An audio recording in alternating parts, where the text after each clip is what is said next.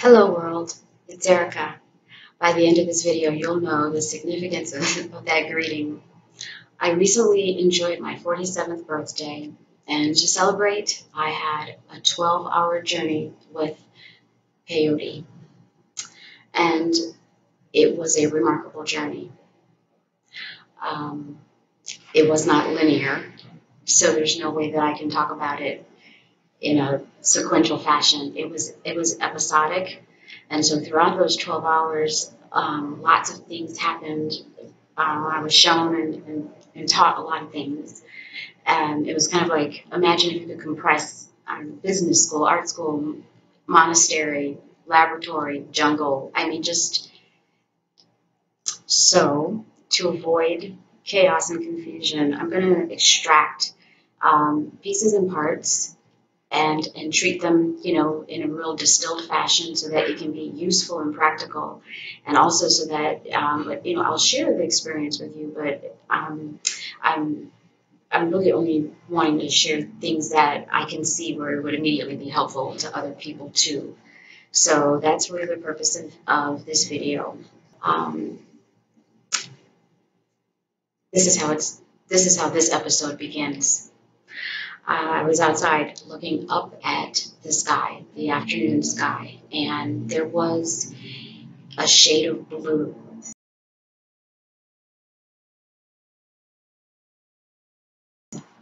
And uh, and then the white cloud formation against it, the way that it appeared to me, um, in a moment, it just activated a memory, a really strong, powerful memory that went back 10 years, almost to the, actually to the month, and I'm not, I doubt it's to the day, but it's to the month.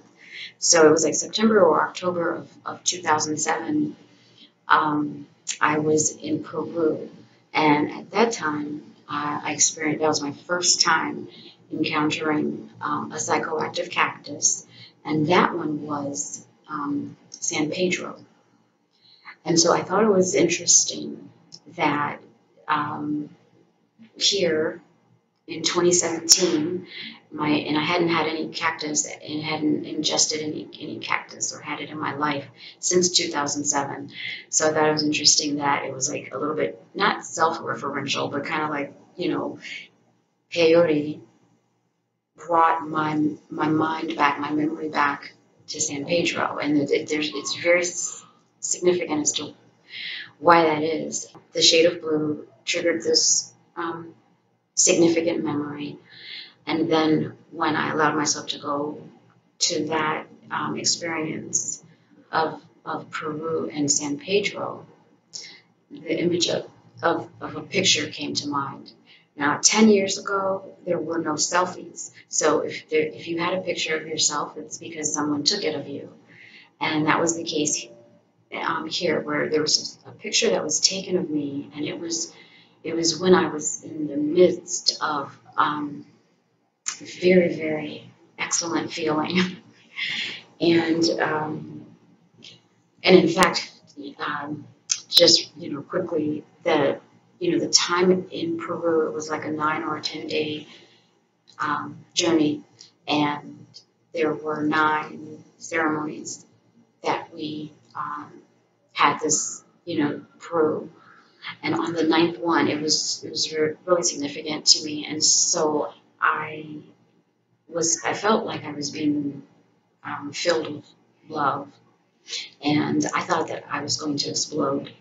So I laid down on the ground on my back, and I was aware of the earth beneath me and the sky above me. And so while on my back, looking up at the sky, that's how I got the, the original memory of of the memory from yesterday that triggered the blue. It was because when I was laying on my back then, and um, and I it, I can only describe it as like being ministered to. It was like terrestrial energy of the earth beneath me, and then like celestial energy of the sky above me. They were ministering to me. And and to be honest, I, I, I had the experience of like being seeded. It, it was like there was a seed, like a seed planted. Um, I would call a seed integration. That's what it felt like. It felt like what Earth and and sky were doing. You know, was like um, blending me or blending in me.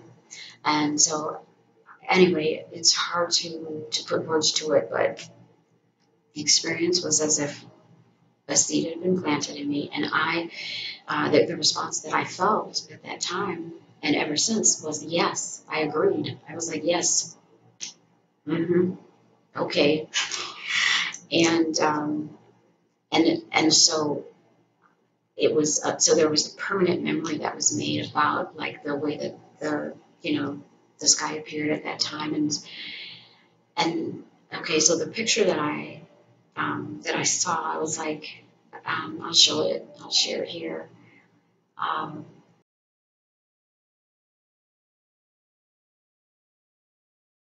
that person when I would see her it would um, like years later it would reinvoke the feelings that I had that day of um, being, you know, in, in this place of just being completely, being.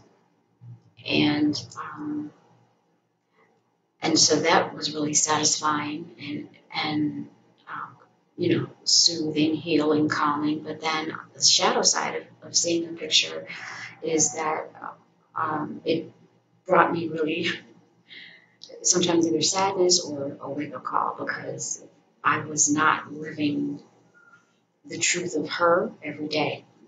It's like I would let her out maybe like on vacation or, you know, at some kind of like extreme event, like, you know, a shamanic journey in Peru, you know, but on a day to day basis, I was not living it out. And that was the pain that drove me um, even to seek the medicine to begin with you know, in, in 2007, it was just a really pretty um, mainstream traditional life, living in Chicago, having a corporate job, um, and things were were like they were good and right enough that I didn't feel um, that I had the right to be to be dissatisfied or to be, you know, not content with my life. And I felt like I was being ungrateful.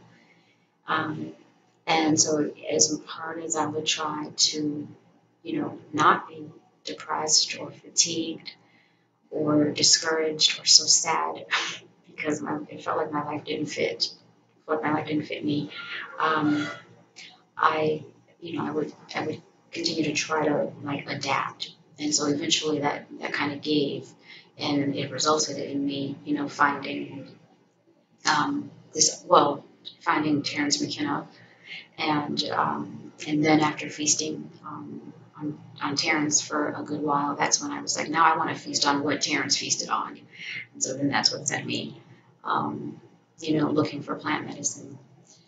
So um, so that picture, you know, it's like there's this, you know, this woman and she's got this bright yellow flower in her clothes and her hair is wild and, you know, these wacky gloves and, and, and, and the counter of that is like, you know, who I was like when I returned to Chicago was not her at all. She's wearing boring black gloves, no flowers to be found on her body, and you know, straightened hair, and back in, into the you know life of um, boxes and stuff. So, so that was a that was a disconnect for me, and I, and it was but it was visible. It was like because I'd had that, you know, that, that San Pedro medicine working in me, and just and just showing the the disparity, and it was like that just seemed unacceptable. I knew it was like this is just not reconciled. So Okay, let's fast forward. So now we find we're in 2017, and yes, it has been 10 years that I've been endeavoring to be that woman every day. And so when I so now yesterday when I was looking at the sky and I saw that blue and I remembered, you know, Erika a decade ago who would only let like this aspect out, um, you know, on some weird special occasions, I, I realized that I was living her every day. And so, I mean, look, by no means, I haven't arrived at anything. The only thing I've arrived at is my beginning. So that's how behind I am. And I'm sharing this particular video because I would love to save you time if possible. I mean, I know that no, nobody's journey, you know, like lessons can't be shortened, but um, I don't know, wisdom can be grasped more quickly. And, and so it, it wouldn't take 10 years. And, and so now in hindsight, I, you know, I understand like, it's like, um, so I, I had had this thing happen to me. I had the work of integration to begin in me when that seed was planted. And, uh, and then I went back to my life and I didn't have any um, place to put it and I didn't have any words to describe it and I didn't have any community really to share it with. So I, um, I kept it to myself for the most part and eventually I almost pretended it didn't happen or I acted as if it didn't happen. It was a life-changing, pivotal, seminal event. One of the most meaningful events. But because of, you know, social conditioning and um, brainwashing and blah, blah, I, I devalued the experience and just kind of let it be. And so, um, but it didn't, you know, but there was there wasn't complete rest or peace in me for a decade. And so yesterday, you know, so yesterday when I had that realization, I was like, oh my gosh, I'm I'm that woman. I'm the woman in the picture every day. And it felt like uh, I, you know, I wept, um, and it felt it felt like a graduation. It felt like a walking across the stage. Um, but it was it was much more meaningful to me than any academic achievement that I'd ever done.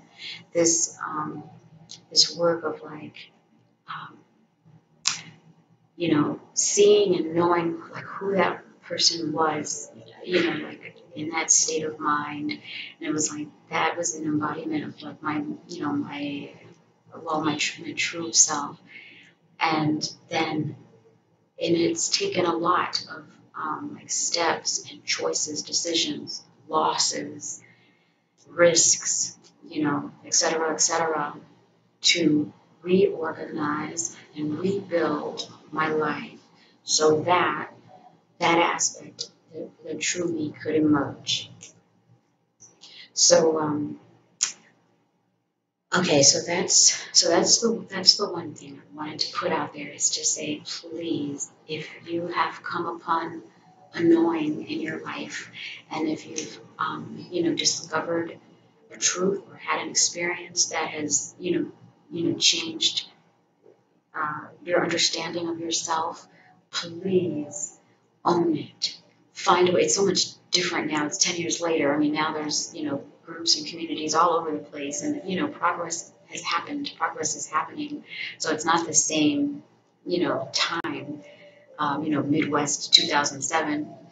But um, whatever your experience might have been, whether it's, you know, entheogenic or otherwise, um, it's just that if, if something, if, if, if a transformation is, is in you that is looking to come out, I'm wanting to encourage that you let it out and not waste years hiding or trying to um, you know, cover or cloak, you know, different faces for different places. Like,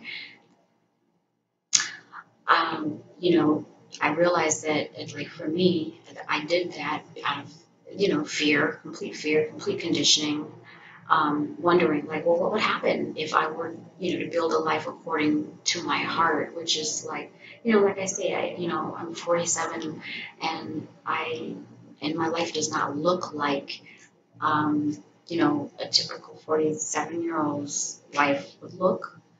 And I mean, you know, that, you know, in good ways, but also in bad ways as well.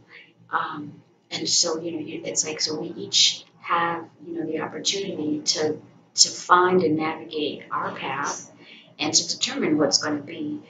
Oh, did you just see that lightning in the background? Cool. Um, what's going to, you know, we get to determine what will be true and life giving and, and worthwhile for us. Okay, so now moving into the next thing. During the journey, um, I was taken on a tour of a house, and it was um, a lovely furnished, lots of rooms, lots of uh, you know things of interest and stuff, and it, and it, and I did understand that it was my house and that everything that was that I saw was mine, but I didn't yet feel um, like familiar with it. And also the house that was inside, it was an internal house. But the point of the tour, it was to um, highlight and point out to me uh, assets. And so, you know, if it would be the equivalent of like someone showing you, okay, this is the safe, this is where the diamonds are, uh, this is the garage, this is where the Porsche is, and this is the cellar, it's where the paintings and wines are. Okay, but it wasn't, they weren't material assets, they were other kinds of assets that um, it is the, the work and the, and the purpose of my life to um, develop those assets into useful things to share um, with others, you know, related to growth and transformation and um, and to, you know, doing the work of integration um, where the inner life and the outer life can be friends. So this next piece speaks exactly to that. And it is okay, so that was great. You know, I'm shown this house, it's my house, and all these things in there, and it's mine, the assets, yay. And I was also shown these things like uh, booby traps or mouse traps, and they were set by me and for me. That is crazy. Um, and and so then I understood. I was shown like the way that they work. So these are self-sabotaging um, contraptions, and uh, and this is how they worked. It was um, like two pedals, uh, like and like I mentioned, car pedals, gas and brake, and and there were there were like maybe a half dozen of them. I saw these sets of these pedals, and so the, the strange thing about them is like that they were all they were um, all of them were depressed completely down, like all the way pressed all the way down. So it's it would be telling a car to both go as quickly as it can and also to come at a complete dead halt at the same time. You know, which do you want? And when I saw the pedals, I, uh, you know, the, first thought that I had was like, oh my gosh, what a waste of effort, what a waste of, of energy, because it's like since the one is canceling the other, there's no movement, it's complete stagnation. And so if the and so if it's going to be stagnant, you know, may as well like lift up. No need to depress and waste that, you know, that energy. And and so I understood that the gas pedal, it was, you know, it represented um, the joyful work for me to do in the world, um, which is to translate these interior experiences. You know, I mean, 10 years ago when I started listening to Terence McKenna, um, after I had already gone to graduate school for um, chaplaincy training, I mean, it was like just this incredible preoccupation with interior landscapes and, um, and, and like a tireless interest in wanting to learn ways to be as whole and healthy and happy as possible and then wanting to share that. You know i'm, ex- I'm, I'm excited about these things and i and and it feels really key and, and important in in terms of um, you know uh, adding fragrance and loveliness to life so um, so i knew when i when i the, the first time that i heard terence talk you know it was like ooh i it, i just i I understood that there was a similarity there in terms of the exploration of consciousness and of inner life. And then, and you know, and then the next step is then is like once that has become whole, then the the liberating the liberation of these of the outer life, which is where you know there's quite a bit of work to be done because because you know life of course is like structured um, to it's structured against um, our freedom and our flourishing, unfortunately. Um, so, so I knew, so I, I, knew that. So that's my work in the world is to, you know, interpret um, these these inner experiences, you know, make art out of them, um, you know, convert them into, you know, useful, helpful things, okay? So that's the work in the world. and that was the gas pedal. Now, the, now the brake pedal, the thing that kept all of these projects in stagnation, it was this. It was this super, super nasty voice, and the inner voice would speak and say things that, that in, in such a way that it would immediately make me want to like do no more gas at all and just like say and so the so the thing so you know the chorus has been you know who do you think you are uh, do you really think that you're that interesting or that impressive or influential. Um, and then the, the big one like if like let's say that i was really you know still trying to press through fear and speak my truth anyway the big one would be that it would this nasty voice would say the n word and i don't mean nigga i mean narcissist. And and the um, the accusation of that, you know, coming up and out of me at me, it was paralyzing. And so I had allowed like that script to keep um, influencing me and so I might like take two steps ahead and like, oh, I built a website or, oh, I, you know, I, I did this interview or I did this. And then the voice would come out and be like, yeah, yeah, yeah, you know. And so because my work in the world does draw from inner experiences, you know, that's just source material. That's all it is. But the, the real juice of it is like in the application for you. Um, anyway, this nasty voice doesn't care about all that. It just wants to shut me up. And so, and it just says, you know, the worst kinds of things in order to do that.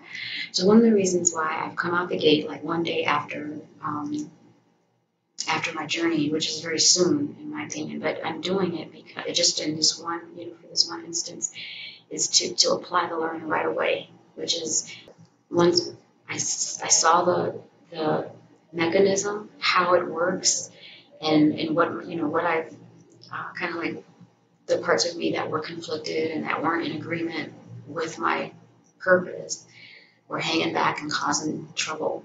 And so and and I can still hear them. I can still hear those you know like that kind of just uh, it's like it's like just residue from a lifetime of having been conditioned to believe in um, you know an idea of smallness or inability or incompetence or blah blah blah you name it you know again all by design all by design because um, the you know ruling powers um, would not have for an empowered enlightened and envisioning um, populace.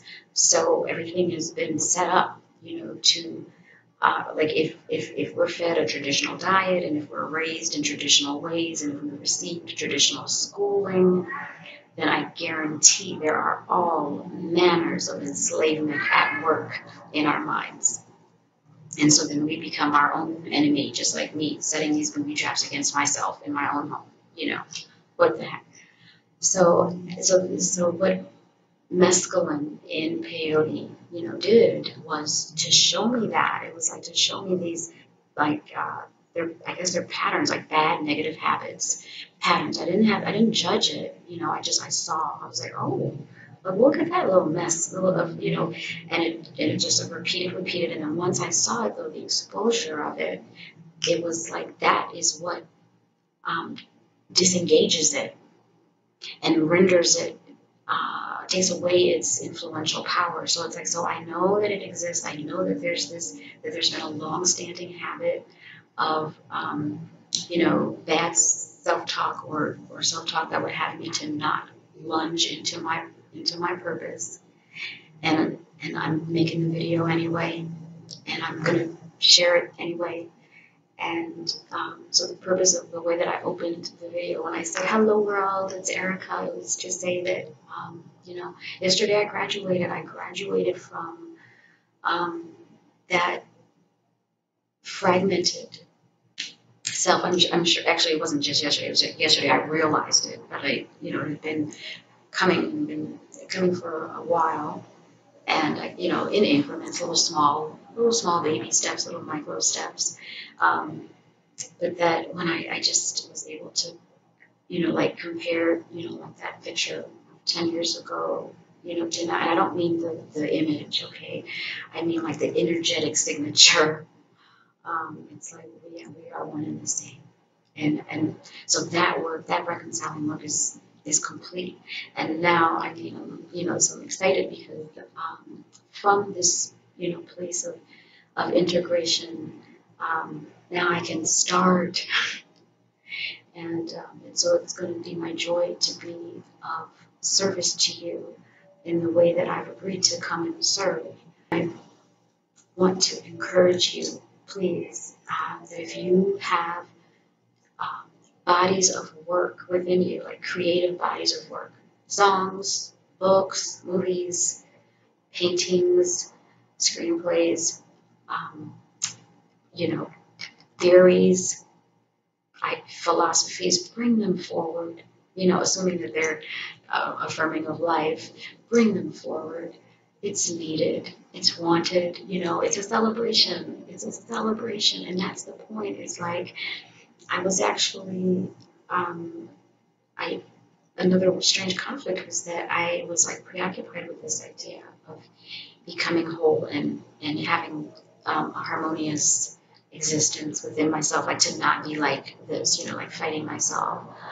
Um, and uh, but it seemed like such a it seemed like such a self preoccupied, unimportant, trite, sentimental, trivial thing to do. I mean, like you see all this judgment I had about it, so I couldn't turn away from it because it, is it's it persists. Um, but I also didn't speak very proudly of it because it was a little embarrassing, I guess. I didn't know how to like own that completely. Um, but I, want to say that, you know, I now understand that I, I do believe it's, you know, like the most important um, work that can be done because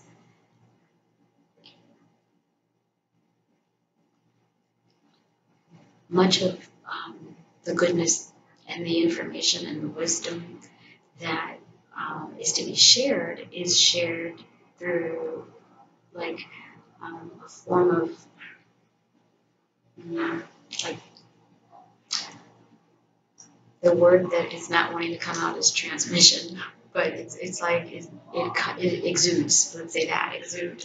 I'm trying to make this sound like as as as, as unalien as possible.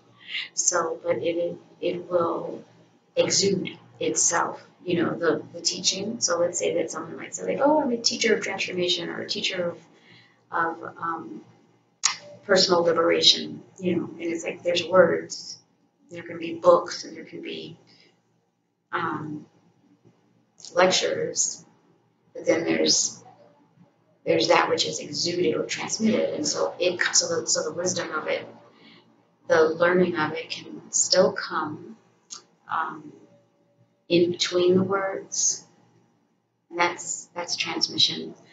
So um, and it happens, you know, through our beingness. It happens through our vesselness, and that's why it's like, yeah, becoming learned um, is is is admirable. Becoming learned, but becoming whole. That's the game changer.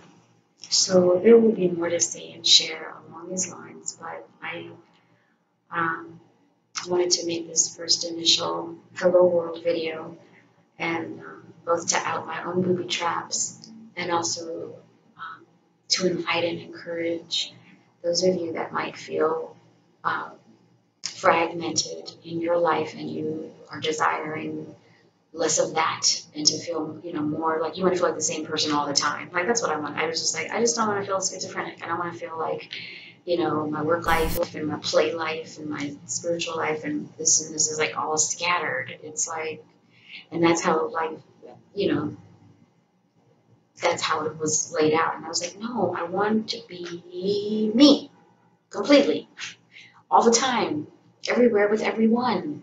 Like that just seemed like such a basic urge. And I'm like, why is that so hard? I mean, I've got like thoughts, ideas about that I'll talk about later. But um, I just want to say that like it is possible, and it does not have to take a decade by any means for you to be aligned with you. So if you've got any questions or, or comments, I, I certainly welcome them. I don't want this to be, you know, just a one-way, you know, me blathering on. I really want to engage with you. Let's compare landscapes. Let's compare consciousness, experience.